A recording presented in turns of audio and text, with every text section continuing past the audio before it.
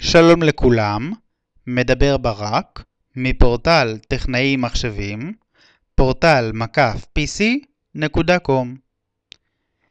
היום אני רוצה לדבר איתכם על חלקי המחשב שמרכיבים אותו. אז בואו נראה איזה חלקים מרכיבים את המחשב שלנו. בואו נראה. ספק הכוח, זה זה, הוא מרכיב בתוכו את השקע של כבל המתח שמוביל לחשמל, צמת הספק, ששם יש כבלים, שאת הכבלים הללו, חלק מהכבלים שמים, יותר נכון, את החלק של הכבל האחד שמים פה, ואת שאר הכבלים שמים להתקנים השונים, כמו hard disk, צורב וכדומה. אז על ספק הכוח דיברנו. עכשיו נעבור להתקנים. זה, כמו ששמתם לב, DVD, שגם הוא הולך לכאן, וזה כונן קשיח.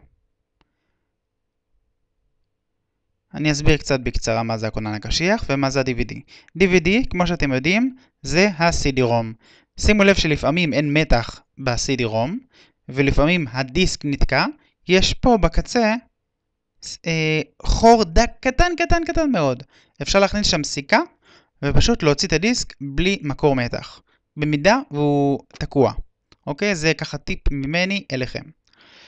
אז, כמו שהבנתם, DVD רום, DVD, DVD צורף DVD, אפשר לצרוב, אפשר uh, לקרוא דיסקים.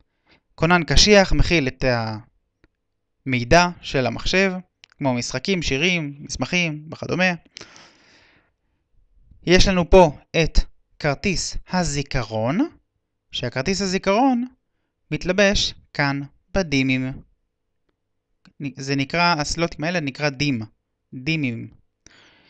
והוא יושב בדיוק כאן. שימו לב שאתם מחברים את הכרטיס הזיכרון, שהחריץ הזה יהיה בדיוק מותאם לכאן.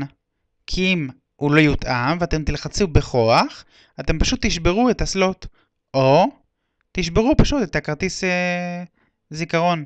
יותר נכון אפשר להגיד שאו זה או זה יישבר.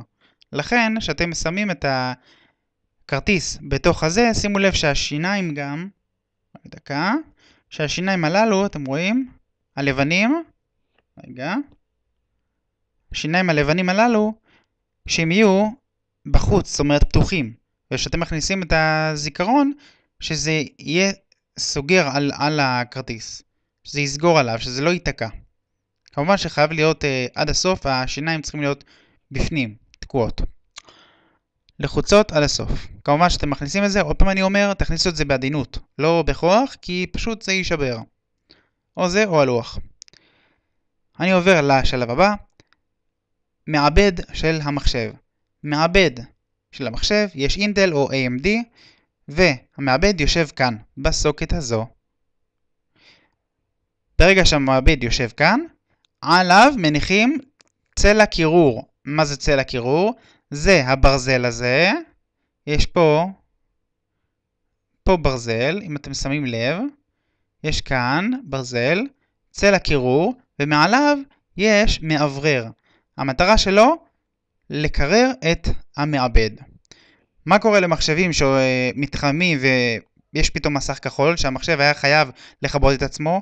אחד המאווררים לא עובדים. יותר נכון, אפשר, אני מאמין שזה בעיה של מאוורר של אה, מעבד שהוא פשוט לא עושה את העבודה שלו כמו שצריך, זאת אומרת מקולקל, או שמתאוורר מעט, זאת אומרת מאוורר עובד בעצלתיים, לא מהר, או שהוא פשוט מקולקל ולא עובד, אז המחשב חייב לעשות אה, איתחול מחדש, או כיבוי, כדי לא לגרום למעבד להישרף. למה להישרף? כי הוא פולט פשוט המון חום.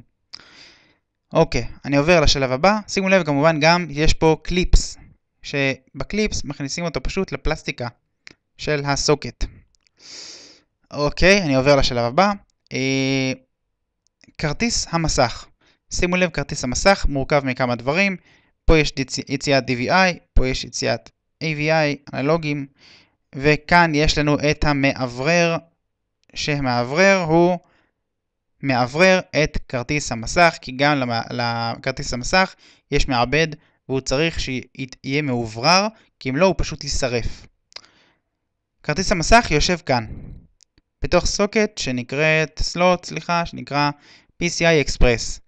יש מצבים שיש יותר מ-PCI Express 1, יש PCI Express ועוד uh, מקום ל-PCI Express.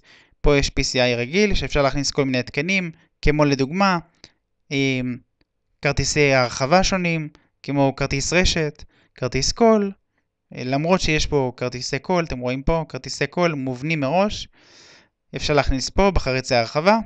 כאן יש לנו אפשרויות להכנס, להכניס כבל נתונים של hard disk מסוג SATA. ופה הסגול הזה זה מדפסת parallel, כמובן חריצי הרחבה USB, חריצי USB יש כאן. וזהו, למעשה. איפשהו יש סוללת CMOS פה, אבל אני לא מוצא אותה, כנראה התמונה פשוט לא כל כך ברורה. באחד המקומות פה יש סוללת סימוס, אני לא יודע אם זה זה או לא זה. אה, וזהו. אני מקווה שנהנתם. אני הייתי ברק מפורטל טכנאי מחשבים, ואנחנו נתראה במדריך הבא. שיהיה לכם שלום ולהתראות.